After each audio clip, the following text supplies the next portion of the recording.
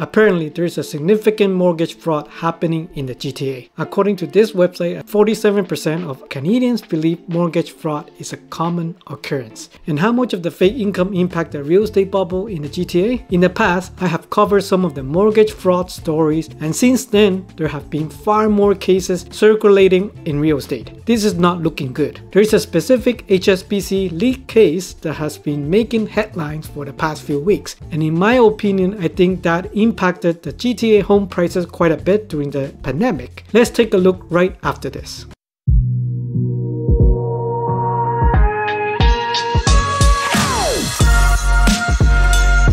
Hey, welcome back to another video on the AV Team Real Estate channel. I'm Antonio and I am a local real estate agent in the GTA. If you have been enjoying the weekly video from this channel, don't forget to like the video and consider subscribing to the channel so that it can be shared with more people who want to get updated on the real estate market in Toronto. Greatly appreciate it. If you have any inquiries about the real estate, don't hesitate to contact me via the first link in the description down below. Going back to the topic of how many Canadians believe that mortgage fraud is a common common occurrence. The number of mortgage fraud cases is rising quickly, and more and more people are falling victims to scams. In fact, mortgage fraud increased by 30% in the second quarter of 2022 compared to the pre-pandemic period. This is really wild if you think about it. And every fifth person in Canada has no problem committing such a crime. Scammers are everywhere, and it's tough to stay safe and avoid fines or prison time. In this post, you learn everything about mortgage fraud and how to prevent it and stay safe from our private investigator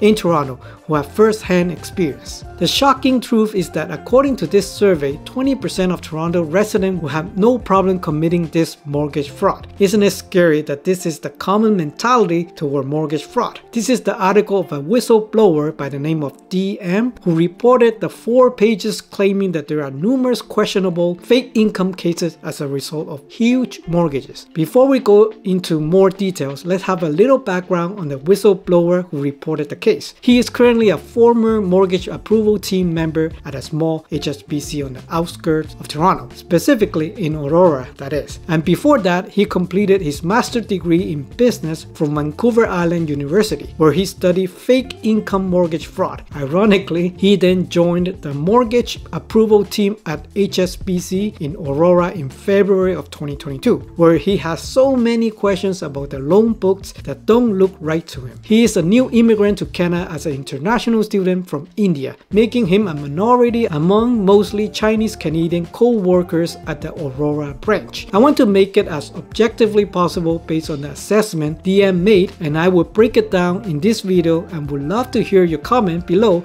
if you don't agree. DM asserted that since 2015, more than 10 Toronto area HSBC branches have facilitated the issuance of at least 500 million in home loans to diaspora buyers who purportedly had exaggerated income or fabricated employment statuses in China. The individual further noted a significant surge in these fraudulent activities during the pandemic, attributing it to the plausibility of borrowers claiming remote work arrangements in other countries while residing in Canada to evade the COVID-19. According to the whistleblower, while a bank of Aurora scale would typically issue approximately 23 million in residential loans annually, this particular branch disbursed 88 million in mortgages in 2020 and over 50 million in 2021.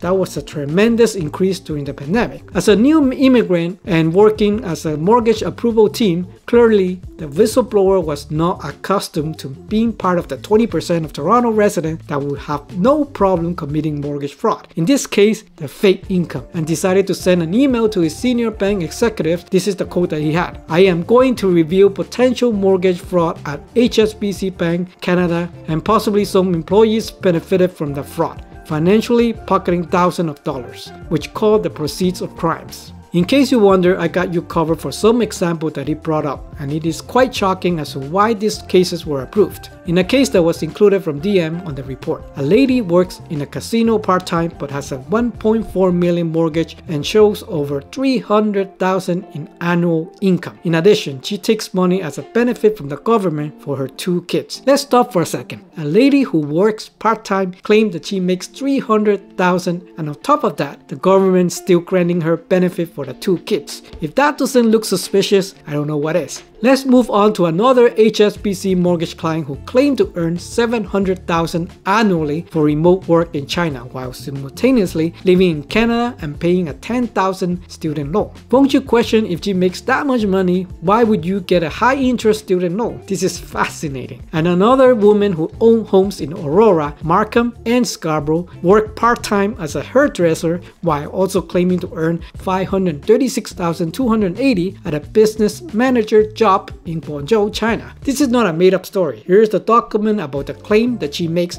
over 500k in this letter while working as a part-time hairdresser. Here's the bureau analysis of the most startling story in addition to these cases, revealed that a lady who established her HSBC Aurora Bank account in 2013 and identified herself as a homemaker with no annual income is the owner of at least four homes in Toronto. However, her Toronto account quickly began to receive enormous sums of wire transfer from HSBC China account and it was used to pay out high value checks to other parties for the acquisition of real estate. And yet, in 2020, the same woman applied for another HSBC Canada mortgage, claiming to earn 763,000 remotely from her job in China. And here's a letter from DM to the senior executive questioning a high-income earner who has a student loan of 10,000 and no other investment outside of the mortgage. These are all examples of all kind of fake Chinese income mortgage fraud, but obviously there are much more type of mortgage fraud surrounding by the entire GTA. You could click the link above for a video that I made last year in 2023 about the title, identity, and mortgage frauds if you are interested. But most noticeable is a result of the temporary closure of Canadian casinos due to the COVID-19 pandemic. Professional money launderers began to diversify their money laundering method, and FINTRAC observed a rise in money laundering typologies involving transferring large sums of funds to Canada from foreign money services businesses, often located in China, notably Hong Kong, and the laundering of the funds primarily through the real estate, securities, automotive, and legal professions. These wire transfers from China were routed into bank accounts of multiple unrelated individuals in Canada that serve as money mules in Byzantine networks involving Canada-based real estate developers, real estate agents, mortgage brokers, and banks. According to FINTRAC, this bank account holder from the Chinese diaspora frequently claimed they were unemployed, homemakers, office manager, or student. After taking everything into account and comparing the data sources used in this article with earlier findings verified by the Cullen Commission in British Columbia, the Bureau estimated that between 2014 and 2023, well over 200 billions in funds from the Vancouver model and Toronto method may have flowed into Toronto and Vancouver's real estate through covert diaspora network and Canadian financial institutions. The official said money laundering is increasing in Canada and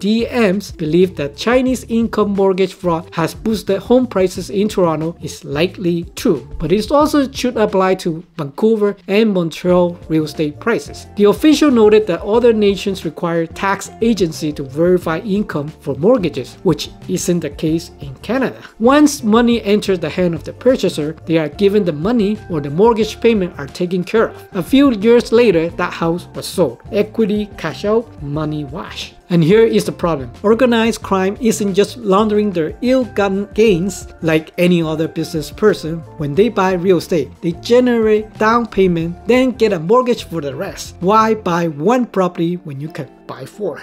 I'm sure that has impacted our multiple offer situation when they are directly competing with locals and permanent residents and trimming the home prices to the whole new next level. Reading this article one way or the other, it was confirmed that it significantly impacted impacted home prices, especially during the pandemic. And if Canada does not strengthen the mortgage regulation approval, this could be the trend going forward. Besides the housing supply, in my opinion, this is one factor that speaks to me as to why home prices are rising so quickly. Do you agree any of this? Comment down below as I'm curious about your opinion as well. I hope you enjoyed this video as I'm trying to break it down from this article on fake income fraud. Don't forget to like the video, consider subscribing to the channel. I hope you have a wonderful day and I'll see you in the next video.